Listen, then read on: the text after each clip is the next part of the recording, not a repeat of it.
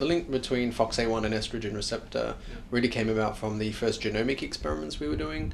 So we went about um, trying to map uh, estrogen receptor contact points in the human genome, try and understand uh, where it sits on the DNA.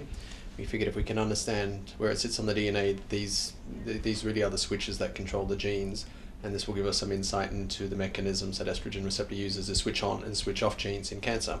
And what we found was we found a, a, DNA sequence that just kept on coming up again and again and again, and it was the sequence for FOXA1 protein. The reason why the FOXA1 DNA sequence was always uh, with estrogen receptor um, docking sites in the genome is because these two proteins work together as, as a partner. The FOXA1 is a very unusual role. It's very different to, to most proteins. It's um, what's called a pioneer factor.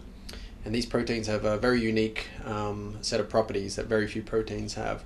They have um, structural similarity to histone proteins or linker histone proteins, and this allows them to interact with DNA that's very tightly compacted.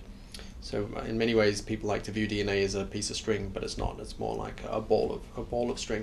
The DNA is compacted and compacted and compacted, and that's how you can get two meters of DNA into a into a single cell. And when that DNA gets super compacted, most proteins just don't have the ability to sit or interact um, on, on the DNA uh, but FOXA1 can, and that's that's its unique role. It can interact as a pioneer factor.